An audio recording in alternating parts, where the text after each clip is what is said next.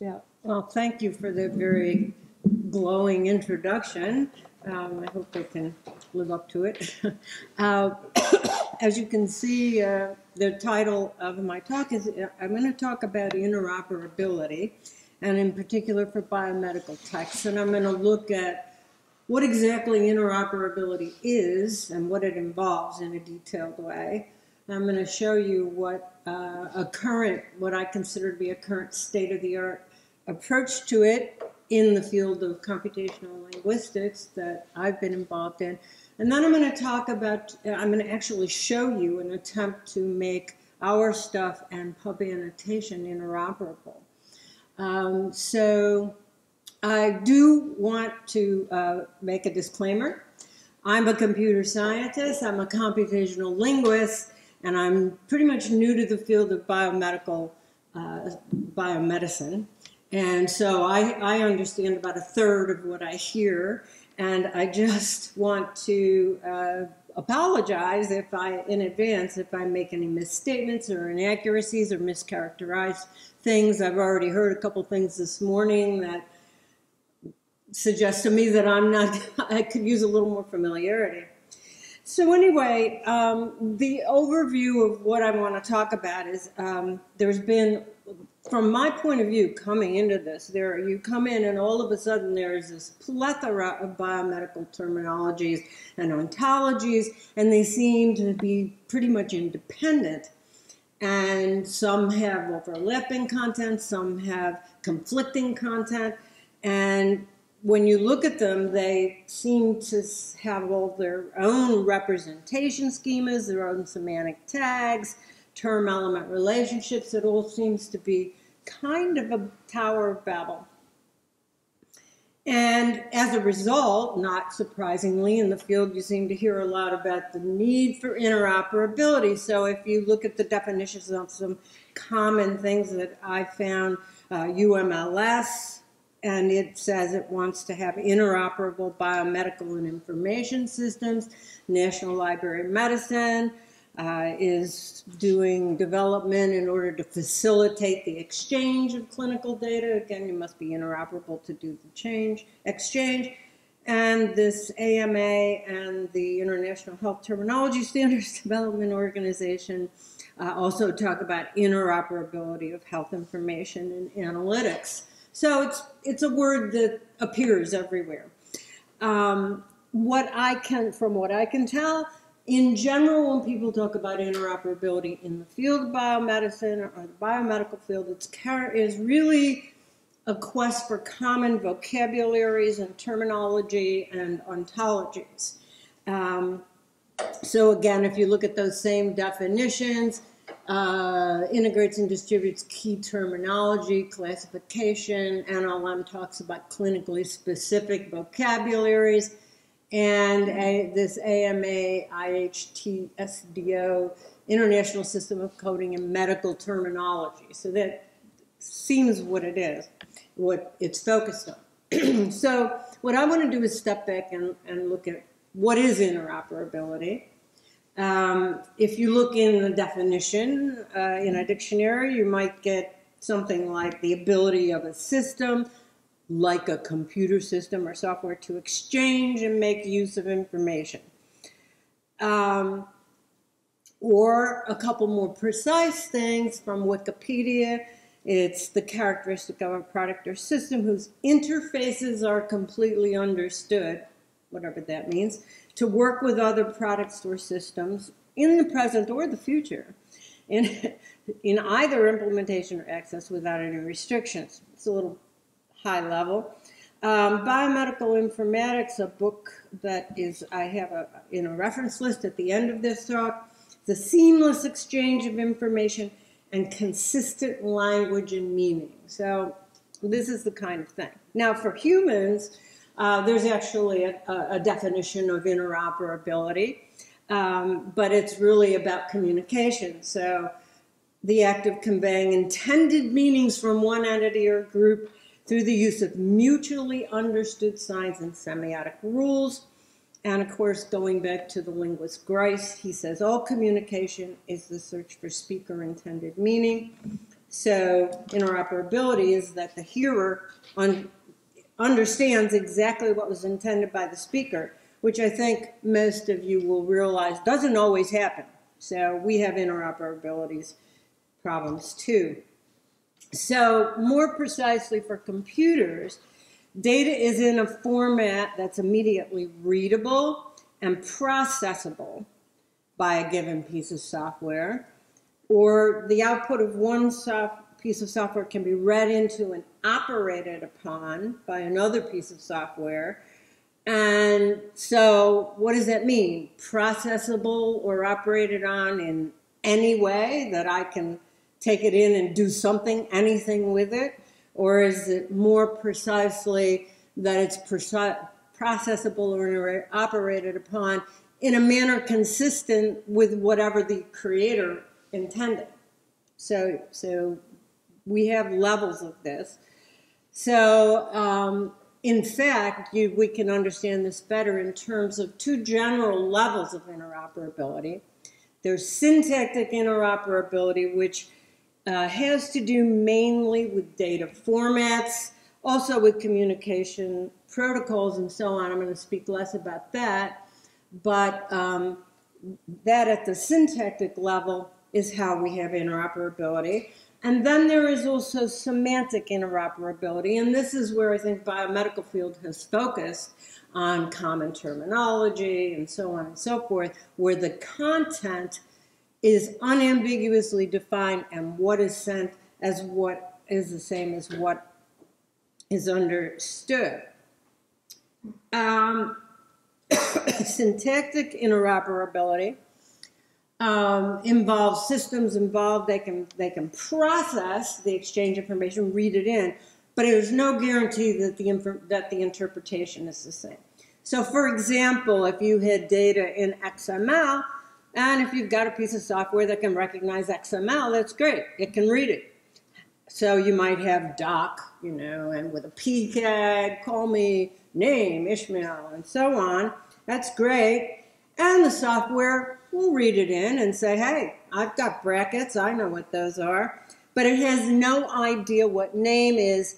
And in terms of how a computer operates, what that means is that it doesn't know anything specific about the way the person who stuck that in there intended it to be processed, as opposed to, say, P or doc. Okay, so that syntactic interoperability, you can read it, but you might not know what to do with it.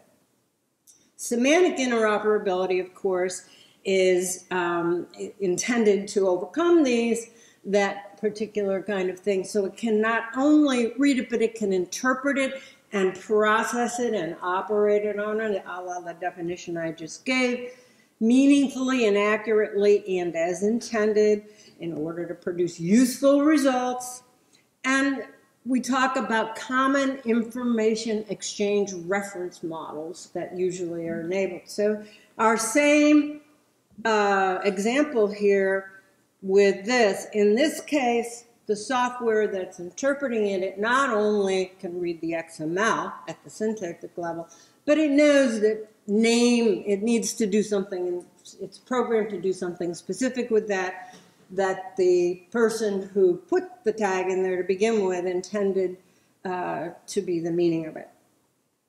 Now, syntactic interoperability includes uh, communication protocols like SOAP and REST for web services and so on. And it also includes metadata specifications. I'm going to talk about those a little bit later, and right now, focus on physical formats a la things like the, the brackets for XML and so on. So um, there are actually two uh, sort of aspects of this. And so the previous talk was uh, fantastic. It, I don't have to even say anything about the different physical formats like PDF, which there right there is a problem. And then we have things that we've um, just discussed in my examples where you have different representations for identifying parts of the data, like XML, maybe JSON or brackets, or there's an IOB format that some of you might be familiar with. I'll have an example of in a minute. Um, and again, the previous talk, I don't have to even say, getting PDF documents into text is not easy and it's not always 100% reliable. And a lot of work goes into it. Um, and the way that people deal, let's say, with, with the second kind, which is a format issue, um, that is usually to do conversion. So you convert from one format into another. So here's an IOB format. Uh, you may be familiar with it because some of the BioNLP data is in this format. Um, you can't, you, it's not always easy because the IOB format just has the words in there. And suppose you want to put it in uh, another representation which uses standoff annotation, doesn't have the word in there, but it gives you the location in the text. Well, it makes it very, it's not a trivial thing to, to do that kind of a thing. And you might even lose some information. Uh, people tend to start writing converters all over the place and you often actually need some significant computational expertise to actually write the converters. And just to give you an example, uh, here are pieces of the bioNLP data, and just to show you that people do in fact use very different physical formats, you can see that there's one up there that has kind of some XML, but not really, and then it has some other things with underscores and and vertical bars, and, and this one is XML, but its own XML. The names are its own names and don't necessarily correspond to anything else. Here's an, uh, one that uses standoff, uh, locating some named entities in, in the text. And here's one of the, the IOB um, things. So if you were working on all of that data in the bio-NLP, all of that, you, you're going to have to deal with the fact that you've got four different formats. So the current situation, I'm going to be extremely optimistic and say that there is some convergence on JSON as a common syntax. It, it's around, it's, it, we use it, and PubAnnotation uses it, BioNLP 2016 also used it, but that's kind of because Pub Annotation used it. Um, but it isn't a, a, nice format. And, you know, it is, first of all, it's a semantic web thing. It's just another serialization of RDF for the most part, uh, especially JSON LD, which I'll talk about in a minute. But uh, JSON is a good, uh, good um, format because it it's based on an underlying data model that's very common, uh, RDF. OWL, for example, it's, it's graph-based. A lot of other things are graph-based. And it uses standoff annotations, so you aren't going and sticking stuff into the text and in fact, instead your annotations are associated with it, which is really nice because then you can have multiple annotations of the same kind pointing to it. They can overlap, they can do whatever you want to do. Um, and these are practices that have been, uh, at least within the field of computational linguistics, really um, come to be accepted as the way to do annotation. Semantic interoperability, I will say, I have no answers for you, but it's a very big problem. These are the kinds of things that you have. The easy one is uh, conflicting terminology. You have the same concept, you have lots of different names. So this is a sort of silly example, but somebody might have RDFS comment, and another thing might have note, and another thing might have description. Same name, same concept, different name. Um, in the UMLS Metathesaurus, it has contains, which is a component of, but in the semantic network, and the same bunch of people here, uh, is that's the uh, definition of ingredient of. So same name, same concept, different name. Um, oh, and computers have to be specially configured to recognize these. It's the same. This is word sense disambiguation, right? Um, another problem is conflicting terminology where you have the same concept. Wait, where am I? Conflicting terminology. same concept.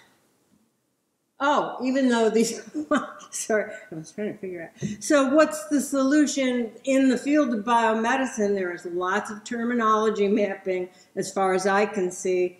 Uh, UMLS seems to try to map vocabularies. Uh, Semantic Health Net, I found. Um, I found an article on this health language blog about these mapping. Um, and it works as long as the concepts are exactly the same, but there's not, that's not always true. Uh, for example, RDFS comment is more general than the note for, from SKOS, so, and there are lots of many to one and one to many, and even overlapping and not quite one to one relations.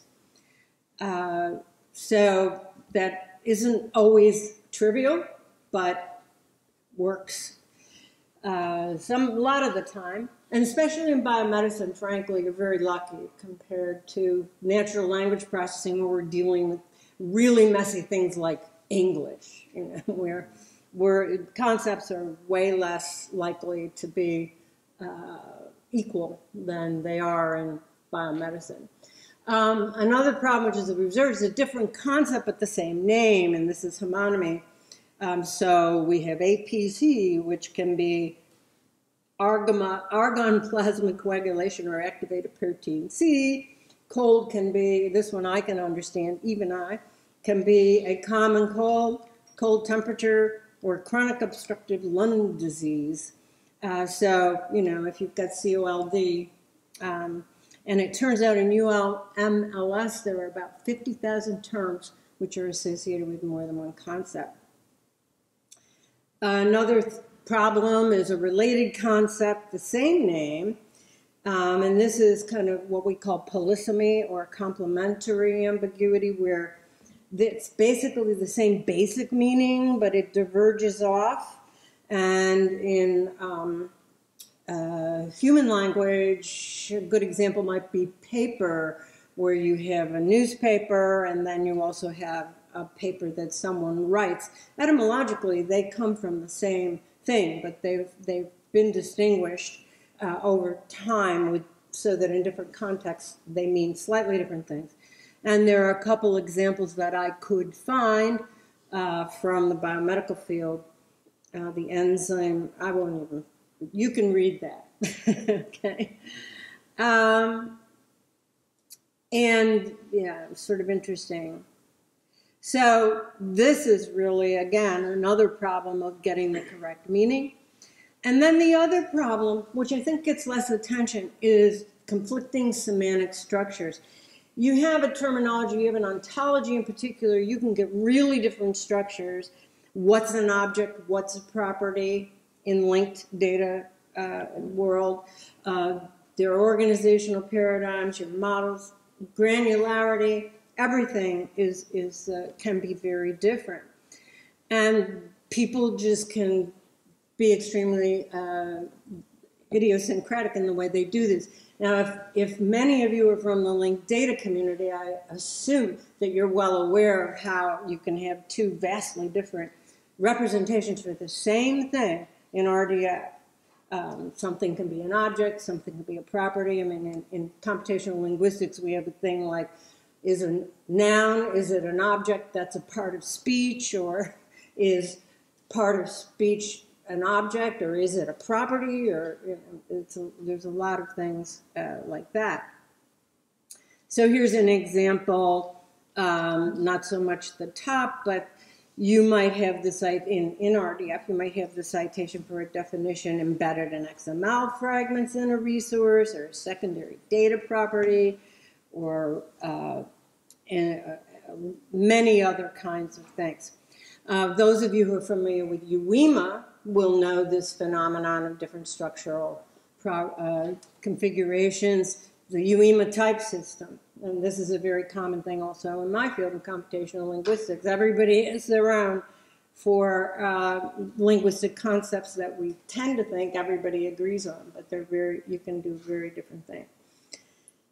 And then there is a problem of information mismatch. Information required for one format might be missing in another. And I think that one of the uh, obvious uh, places where this comes up is you have a lot of biological terminologies that were developed before the semantic web, and now people are trying putting them in LDL, and there's no formal. They they really don't lend themselves to a formal logic-based representation, and you sort of have to re-engineer and interpret the information. So, for example if you had bacteria cause infection, there are several different ways that can be interpreted, and you have to kind of guess what was meant there. So, for solutions, at least within the semantic web community, I see that people are trying to converge on uh, standard sets of tags or properties, but they're across all sorts of different specifications and a lot of the tags have identical or overlapping semantics. So the bottom line is that syntactic interoperability, I think it's coming along in terms of physical format and communication protocols. People are starting to converge at least on using things that have a common underlying data model, which enables easy mapping and conversion. Metadata, we still have some uh, way to go there. But semantic interoperability is still a huge problem, and there's no really clear and obvious solution in sight. So, what I'm going to do now is um, try to show you what I've been working on for in the recent past and has, has now brought me into the bio-NLP world um, in a big way, where we consider that we have at least a state-of-the-art solution to interoperability, even though we know it isn't the be-all, end-all solution. Uh, this comes out of work uh, over the past two or three decades, and I've been intimately involved in a lot of this work, where people have been um, addressing the interoperability problem for linguistic data and annotations. This is exactly the same as, as you have in the bio-NLP field. This, the same kinds of things. Um, one big group that worked on this was the International Standards Organization, ISO, TC37SC4, data manage, language data management, something anyway. We had a linguistic annotation framework, and I was one of the people who helped devise that. And so, drawing on all that experience, a lot of projects, and it's not just ours, but several in Europe and so on, have attempted to achieve interoperability um, for NLP tools. And my project is called the LAPPS the Language Applications Grid. And it was funded by a program called Interop within um, the U.S. National Science Foundation. It's a collaboration of four institutions, Vassar, Brandeis University, the University of Pennsylvania, and Carnegie Mellon University. And I will mention, since I heard some mention of IBM Watson and so on, that the guy who was at Carnegie Mellon was one of the Watson developers. And we've actually incorporated some of the stuff from there into the LAPPS Grid and the goal of it is to provide some infrastructure so that you can retrieve text collections from providers and repositories, devise pipelines or workflows, whatever you call them, of interoperable web services that automatically annotate data and provide evaluation metrics and saving, st storing, and sharing pipelines uh, so that you can use other you and other people can use them. Um, so, you know, the overall thing is we want to give access to a bunch of NLP tools from several sources that are interoperable. We want to have people can create a custom application that can be a black box that other people can use. And this we got directly out of the Watson development, um, open advancement framework, uh, which was used in the development of Watson for evalu evaluation of components and applications. Um, licensing issues, of course, come into the play, but I won't talk about that. And we also want to pursue a creation of a really a global network of grids and frameworks. And just real quickly, I don't want to go over this, that's our configuration, but I do want to notice that, uh, to point out that we have been working with and have achieved interoperability with the Kyoto Language Grid and their affiliate, affiliates, and with two um, systems within the Clarin, for those of you from Europe might be familiar with that framework, um, one in Prague and one in Tübingen. And we've had funding for both of those things, and this one's done, and, and the Clarin one, we're almost finished. So, so we're feeling, you know, a little bit of proof of concept here. Uh, we use as a front end another thing that might be familiar to you, which is Galaxy, which was originally developed for genomics researchers, and it's a workflow engine um, that is designed to enable you to, to uh, create pipelines of, of tools that can perform certain um, analyses of data. And of course, originally their whole thing was genomics data. Um, it's accessible, you don't have to be a programmer. It does a lot of capturing of information so you can reproduce and replicate somebody's experiment and result, which is becoming an increasingly important thing these days. And it's transparent. So we use the Galaxy framework as kind of a front end to combine our services and, you know, instead of of components to deal with genomics data, we have text processing pipelines um, that can do. So here's what it looks like, and this is the Galaxy front end. If you've ever used Galaxy, it looks just like this, except that now it says the language applications grid. Um, over down on the side is very badly organized, and we are in the process of redoing that list of things that you can see that we have. Um, we actually have some bio-NLP data, we, and then um, other things that are in there. We have, then you can see things like the tokenizers, the sentence splitters, the taggers. We have a whole bunch of all these tools from different sources. Parsers, chunkers, co-reference, all of these things. And there are multiple tools from different places. And over here, this would be a uh, pipeline that somebody constructed. Uh, the nice thing about LAPPS Galaxy is you can use it in a number of ways. You can have you can just go to http galaxylabsgrid.org right this very minute, and you can use it. Uh, you can create your own local instance, and we have an NLP flavor within Galaxy. Uh, they have flavors. You can create a Docker image so it's self-contained. We had to give, for example, a tutorial at the National Security Agency in the United States, and it had to be self-contained because it couldn't communicate with anything outside. Um, and it's also good, you know, for a lot of clinical data and so on where you have privacy constraints. And you can create a Galaxy instance in the cloud and I will be working on one of those. The most recent one is our development, which is on the NSF Jetstream cloud. Uh, and I'll show you that in a few minutes. And interoperability. So um, actually the Galaxy tools are not. The, the tools for genomics analysis that they have are not interoperable. They have tons of format converters. If you click on that, which I can't, this is a picture, but if you go to Galaxy, you can uh, see that they, they have converters from pairwise for all different kinds of, of things.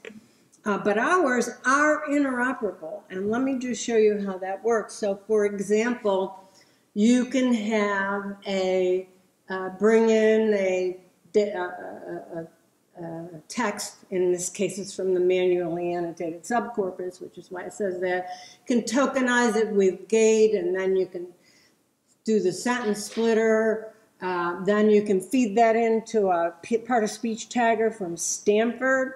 And then you can feed that into an open NLP named entity recognizer. These are from all different places. And the conversion is done automatically, and I will uh, ha- say to you that there was the one little glitch that we have the, the gate to JSON. They had to explicitly put it in there, but um, uh, we've kind of fixed that now. That isn't true so anymore. So now, when you go from gate to Stanford, the system detects, oh, your gate, I'm Stanford. Let me run that converter. And when you go from Stanford to Open OpenNLP, and that works in this one um, that it, it automatically does the conversion. So people don't have to worry about um, using different tools, and they can test and mix and match and play with that uh, to get the best results. And that's very much actually the method used in this open advancement approach of development that was used to develop the Watson system. So how do we do this? Well, we achieved syntactic, achieved pretty much, with common physical formats. And there are obviously many legacy formats that we have to accommodate.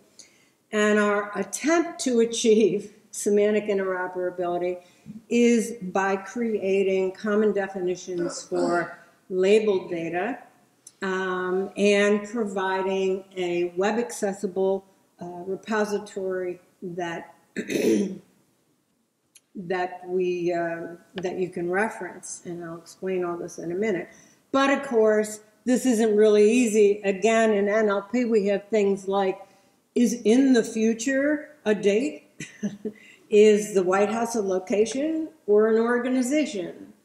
Um, the White House said, you know, and then let alone that linguists don't even agree on what a noun is. I don't know why that happens. So, you know, especially in our field, it's difficult to identify a single representation that accommodates all kinds of language data and annotations, but JSON LD has come very close to that. Difficult to get the community to agree or adopt a single standard, and we have a lot of need to accommodate legacy data. So the convergence of the solution, oh geez, convergence of the solution is instead of uh, defining a single, we have a universal pivot. I don't know why this is doing this. Um, okay, okay. Um, and basically, we have a common, we want a physical format that is a serialization of a common abstract data model and a common set of structured terms, which is for semantics. So let me give you a, quick, uh, quick overview here because I'm, I, I just don't know what to do. How about if we turn it off and you speak really loudly for four minutes? Maybe. Okay, I can try this. Well, I'm going to probably be longer than four minutes. This isn't on then. Okay. um, what, what, we have is a LAPPS, uh, whoops, next slide, uh, interchange format, which has the following components. We do syntactic interoperability with JSON LD. LD stands for linked data, if you didn't know that. And our semantic interoperability is through the Web Service Exchange vocabulary. And I'm going to go very, very fast um, because I'm. So um, we have our Web Service Exchange vocabulary is something that's interesting in the sense that we're developing it very, very much bottom up, very much on the fly. Um, and let me see, yeah, the key strategy is bottom up approach. We only define objects as we need them. Um, we have a very minimalist strategy. We have basic generic concepts like named entity, and then if you want, you go type equals protein, type equals gene, and then you can have other features if you want as well. And um, the other thing is that we link to definition in other repositories where possible. So very briefly, this is, again, this is right on the web. this is a exchange vocabulary. And you notice we have named entity. Notice the date, location, organization, and person are crossed out because we decided we're going to have a generic thing named entity. Type equals you fill it in, and you know if and if standard vocabularies or standard lists develop and we can point to them, we will do that. Uh, but we don't as of yet. So then we develop a specification. This is the web uh, page that you would point to. Um, so you have the uh, spec for token, and we link to something in a repository that's the same. And we also have uh, require that you document the software and the rules. So the references in the L JSON LD point to URIs that are in this web service uh, exchange vocabulary. And here, to get to the nitty gritty of it, is the um, as an example. So we have a base URI for our vocabulary, so we don't have to type it every time. We have metadata, and it describes this view. I think they're called denotations in PubAnnotation. Uh, we call it a view and it says this contains tokens and the producer is this particular piece of software, which is our own type system. And down here in annotations, when we say type is token, that points to the definition that I just showed you on the web. And so you can, if you want to, you can uh, name that anything you want as long as it points to the same thing. We all know that that's the same thing and the features are also defined there.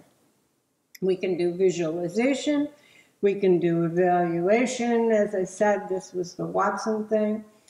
Um, I'm going to skip this, but um, we are we think that the Galaxy collaboration is actually uh, going to be very profitable. I have an example I'm going to skip. But this is important. Uh, we have a new NSF grant just starting with Penn State, which is one of the main Galaxy developers.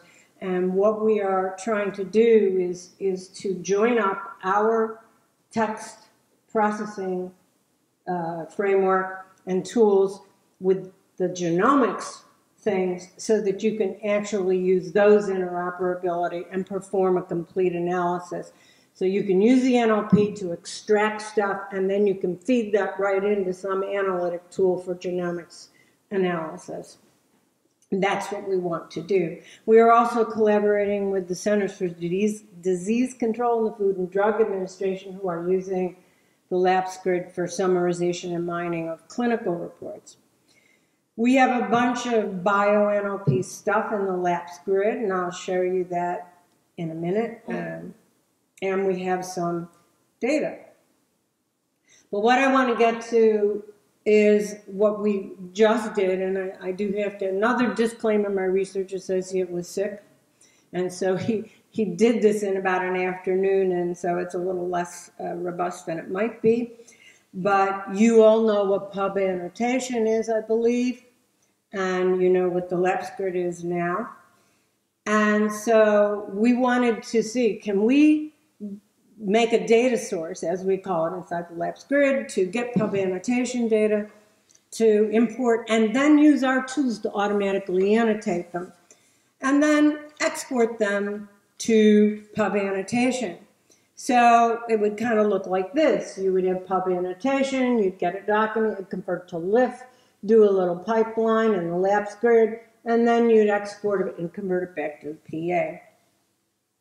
So, you know, nice PubAnnotation uses JSON, so we use JSON LD, not so different. That makes life easy.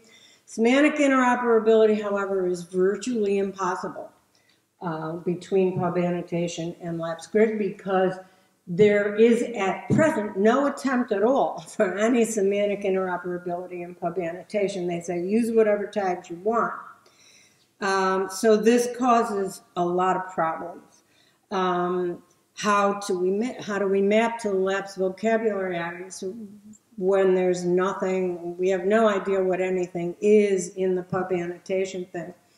Um, and the PubAnnotation doesn't give us any metadata to indicate what annotation labels are in a denotation or view. So, uh, and if we have multiple views, uh, do they all get, we use multiple views for different layers. Do they all get combined into a single denotations element? Same thing for relations and parsers, multiple parsers. How to round trip data. There's really no way to extract the annotations from the denotations, separate them into views for LAPPS, and then combine them again. And also, if you go from LIF into PubAnnotation, you lose all our metadata. But, uh, and also, as far as we can tell, each PubAnnotation project is supposed to be one type of annotation. This might be wrong, but then that would make us, we would have to proliferate uh, uh, projects. Um, there's also some problems with microformats uh, and freeform attribute values. And if you go to this link, you'll see this is an annotation. This is a value of the obj feature. And it has all sorts of stuff in it that would require a parser more complex than the one to actually retrieve the feature to just understand it. So other problems converting to LIF, uh, there are a lot of inconsistent attribute property names, a lot of typos. You guys should have a schema uh, that you can use to validate. Namespaces are not always defined.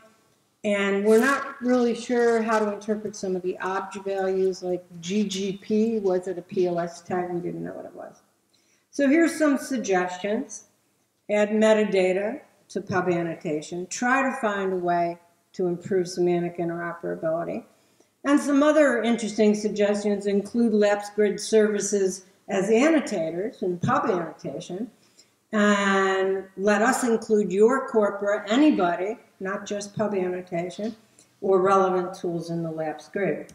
So what we can do here is uh, take PubAnnotation data that is just text, raw data, convert it to LIF, run something on it, and we convert, can convert it back to the PA format, and we will lose the metadata, but, um, but, but we can do it. And just to prove that to you, I won't run this, I will just show you, where am I?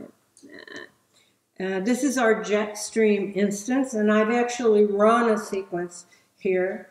Over here, I uh, ran a, a, a, a, PubAnnotation, sorry, I get a document, and I've convert, it automatically converts it to LIF. So this is it in LIF. Then I ran, we have a, a tool called Biomedical NER, which is a GATE tool. And what? Oh, where is it? Um,